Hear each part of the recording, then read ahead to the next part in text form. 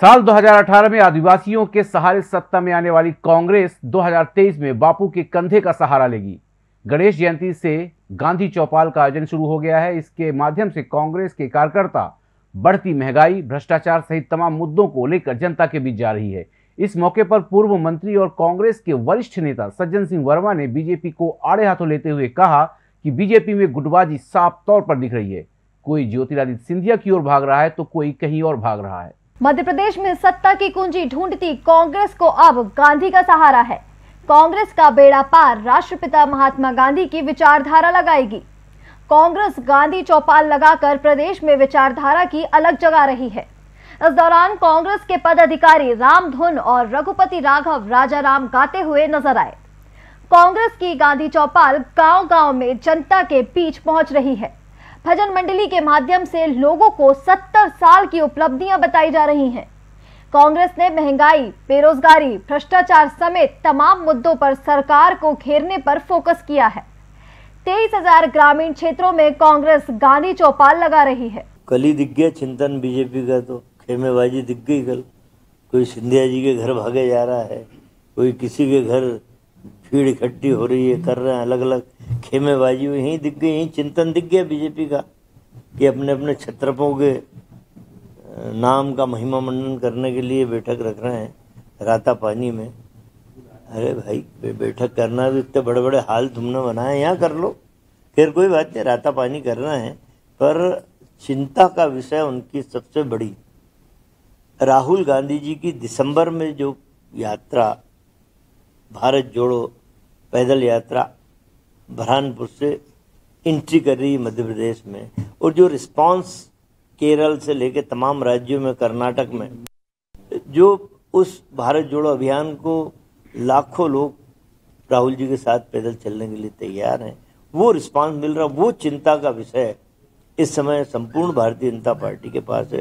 इस मौके पर पूर्व मंत्री सज्जन सिंह वर्मा ने बीजेपी पर निशाना साधते हुए कहा कि बीजेपी की चिंतन शिविर में गुटबाजी देखने को मिली। कई मंत्री ज्योतिरादित्य सिंधिया की तरफ़ भाग रहे हैं तो कई दूसरी ओर। उन्होंने कहा, अगर चिंतन करना ही था तो हॉल बने हुए हैं, वहाँ कर लेते। राता पानी जाने की ज़रूरत ही क्या थी? वर्मा ने कहा, बीजेपी को राहुल गांधी की भारत जोड़ो यात्रा से डर लग रहा है। ये यात्रा दिसंबर में मध्य प्रदेश आएगी जिससे बीजेपी डरी हुई है।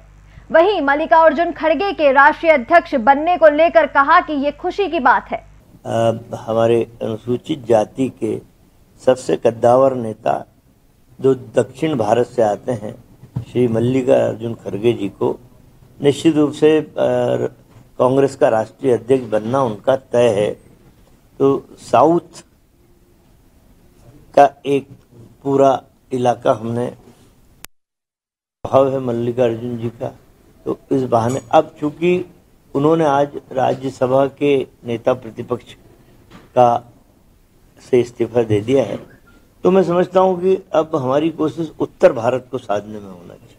What starts here changes the world. The world of opportunities. The world of inspirations. We are LNCT Group, where every beginning changes the world. Providing the best results, highest packages and delivering the best manpower to the biggest companies in the world. LNCT Group. Choose the best to be the best. For admissions call 7440 777 Rabindranath Tagore University, the pioneers in skill development, with focus on creating industry-ready professionals.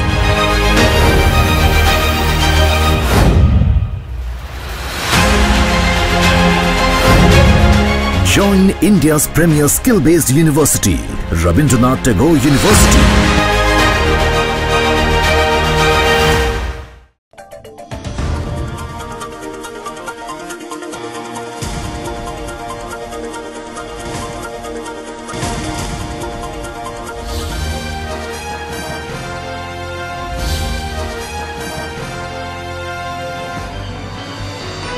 आप देख रहे हैं दखल news.